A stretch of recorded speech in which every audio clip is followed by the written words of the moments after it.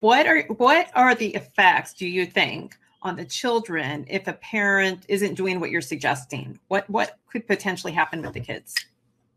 So this is where we go dark in this conversation because it's not good but uh, the suicide rate is increased by 30% for children who are exposed to litigated divorce and high conflict divorce.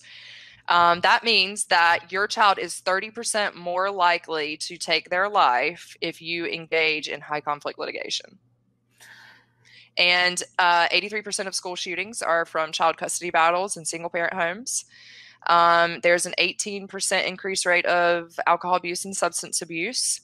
Um, and the marriage rate is at the lowest recorded state of history, so lower than the Great Depression and both world wars. Currently, the children who are now aged to get married in America and has been for a few decades now are not getting married, and that rate is plummeting at a at a at a perfect line like this. Oh wow. So those are yeah. the effects and they're not good. And if you if you just you just heard the words off my lips you know that that's true. Like you don't even have to go do your mm-hmm. research. You can just look around you and think about your friends and family members and the children of today and how they operate in relationships.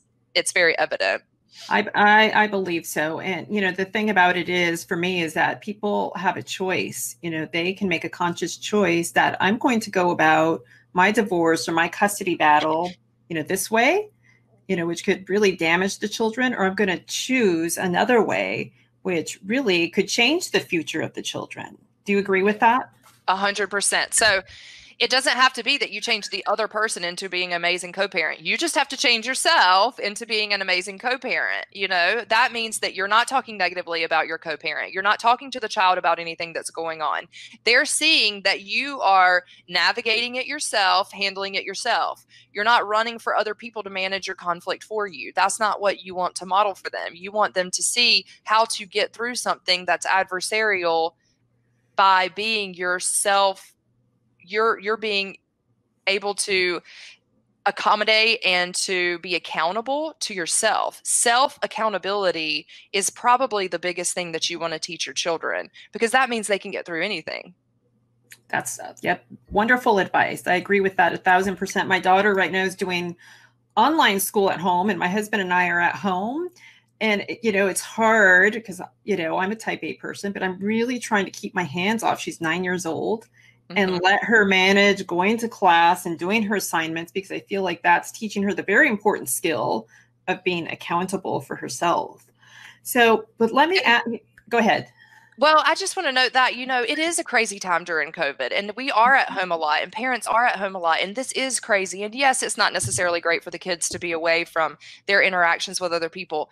But if we can put it in perspective for them, not like this is forever, the it's just going to be terrible forever, but things are different. 2020 is a different year. Capsulate it. It's going to be a little bit difficult, but you know what? We're going to get there on the other side. It's not going to be like this forever. You're learning how to manage your own schedule now. You're learning how it is to interact with people from afar and let them know if you point out what they're learning and what it is that they're doing, and then identify a time that it's going to be different, or just let them know that it's not, you know, they're not in sinking sand. It, that's not real they're fine they're going to be okay um, then that's what they need you know if it's the world's ending and everything's terrible 24 7 and you're not analyzing how it is that your family's going to maneuver through this and what they're going to look like in a year then the children don't know how to do that either and so just to your point on that it is different but so great that you're using that as a learning experience. Yeah thank you for that you know and you and you just um, reference back to the modeling behavior because i think you know